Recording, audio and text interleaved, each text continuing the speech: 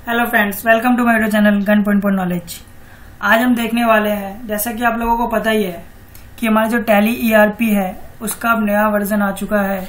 जिसका नाम क्या है? टैली प्राइम तो हम, आज हम देखने वाले हैं कि टैली प्राइम में कंपनी को कैसे क्रिएट करें। हम लोगों को टैली ईआरपी का तो आता ही है बट अभी तो चेंज हो चुका है टैली ईआर टैली प्राइम में तो इसमें कंपनी कैसे क्रिएट करें? तो इसमें कंपनी क्रिएट करने के लिए जैसे ही आप टैली प्राइम को ओपन करोगे तो आपके पास इस प्रकार का, हम क्योंकि एजुकेशन वर्जन पे चला रहे हैं तो ये एजुकेशन ईडीयू लिखा आ रहा है। अगर हम लाइसेंस वर्जन चलाएँगे तो यहाँ पर हमारा नाम आ जाएगा। तो ये एजुकेशन एजुकेशन नहीं आएगा। ये देख रहे हो, ये हमारा एजुकेशन वर्जन पे चल रहा है एजुकेशन मोड पे। तो अगर हम लाइसेंस चलाएँगे तो यहाँ पे एजुकेशन मोड नहीं आएगा, यहाँ पे लाइसेंस आएगा, आपका नाम आ जाएगा, जिस भी आपने से ले रखा होगा। ओके गाइस तो आज हम सीखने वाले हैं कि टेली प्राइम में कंपनी कैसे क्रिएट करें। तो जैसे कि हम टैली पे करते थे टैली ईआरपी में करते थे सेम वैसे ही यहाँ पर लिखा हुआ है, देखो क्रिएट कंपनी अभी तक मैंने इसमें कोई भी कंपनी नहीं बनाई है। तो फ़र्स्ट कंपनी बनाएँगे create company select remote company specify path select from drive तो पाथ स्पेसिफाई कर सकते हो रिमोट कंपनी अगर आपने कोई ऑनलाइन कर रखी है तो उस केस में है सेलेक्ट फ्रॉम ड्राइव अगर किसी ड्राइव में आपने डाटा रख रखा है अपनी कंपनी का तो वहाँ से आप उठा सकते हो। तो हमें कंपनी क्रिएट करनी है। तो कंपनी क्रिएट करने के लिए हम क्या करेंगे? क्रिएट कंपनी के ऊपर क्लिक करेंगे या आप एंटर करोगे। तो जैसे ही आप क्रिएट कंपनी के ऊपर क्लिक करते हो तो आपके पास कुछ इस प्रकार का इंटरफेस आएगा। यहाँ पर आपसे क्या मांग रहा है? आपकी कंपनी का नेम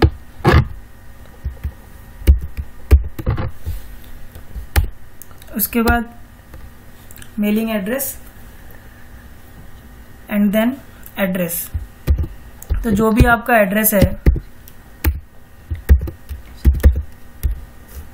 वो आप टाइप कर दोगे।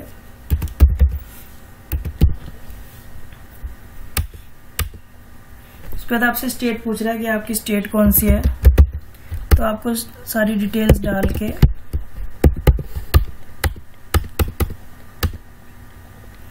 यहाँ पर फाइनेंशियल ईयर बिगनिंग फ्रॉम कि आपका फाइनेंशियल ईयर कब से चालू होता है और बुक्स बिगनिंग फ्रॉम आपकी बुक्स कब से चालू होती है?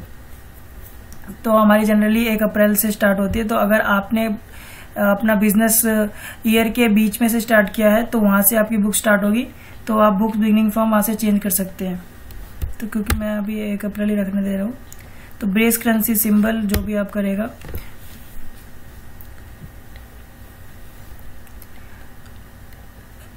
Okay guys.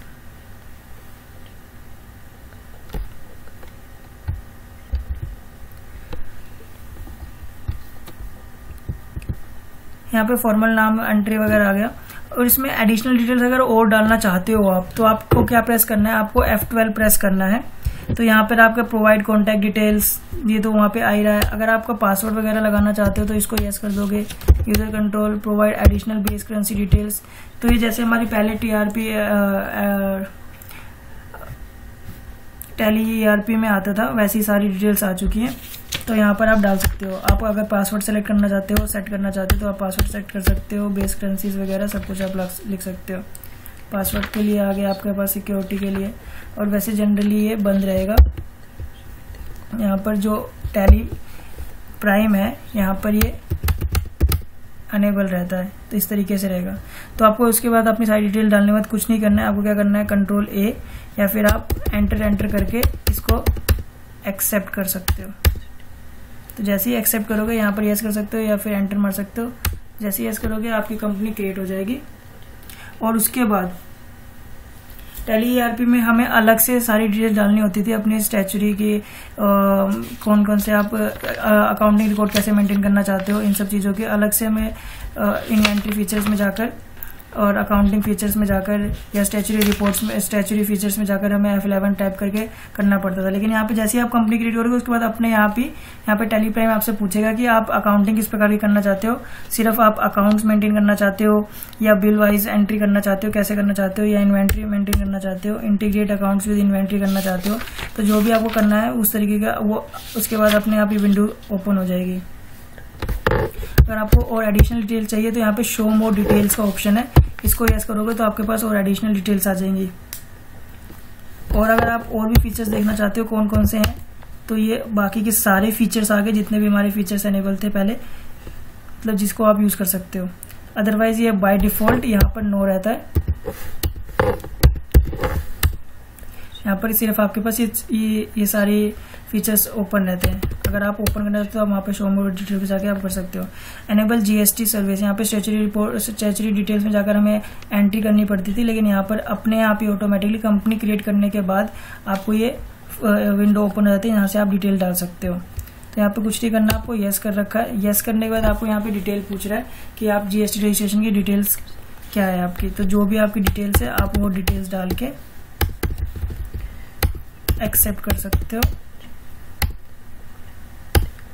इसको एक्सेप्ट करोगे तो आपकी कंपनी बन गई तो आप देख सकते हो गेटवे ऑफ़ टैली हमारे साइड पर आ रहा है राइट हैंड साइड पर, और उसके लेफ़्ट हैंड साइड पर क्या कंपनी की इंफॉर्मेशन आ रही है हमारे पास।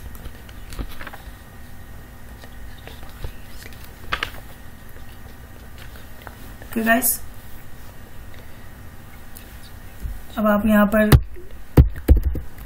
मास्टर्स में क्रिएट कर सकते हो लेजर्स वगैरह क्रिएट कर सकते हो वाउचर्स क्रिएट कर सकते हो बैंकिंग एंट्री बैलेंस शीट वगैरह सब कुछ आ गया। तो हमारे मेनली था कंपनी क्रिएट करने का, वो ये तरीका था। और अगर आप कंपनी को अल्टर करना चाहते हो तो आपको कुछ नहीं करना है। जैसा कि हम पहले करते थे, यहाँ पर अल्टर पे जाओगे।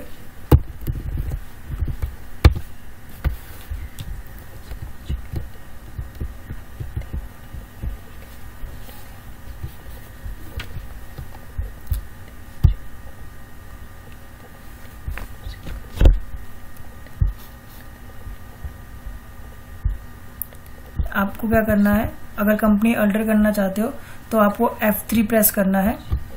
तो जैसे ही आप F3 प्रेस करोगे तो वो आपसे पूछेगा कंपनी क्रिएट करनी है, या कोई कंपनी शट करनी है, या कंपनी अल्टर करनी है, या कंपनी सेलेक्ट करनी है। तो अगर आप कंपनी में कुछ चेंज करना चाहते हो तो आपको क्या करना है? अल्टर कंपनी के ऊपर क्लिक करना है। अल्टर कंपनी के ऊपर क्लिक करोगे तो आपको यहाँ पर नाम वापस अल्ट्रेशन के विंडो पे लेके चला जाएगा। तो यहाँ पे अगर आप कुछ चेंज करना चाहते हो तो वो आप चेंज कर सकते हो और वापस आपको वही करना है। एंटर एंटर करके एक्सेप्ट कर लोगे तो आपका वो अल्ट्रेशन जो भी आपने किया होगा, वो सेव हो जाएगा। ओके गाइस तो आज के लिए इतना ही। आई होप आप लोग समझ चुके होंगे टेली प्राइम पर हम कंपनी कैसे क्रिएट करें।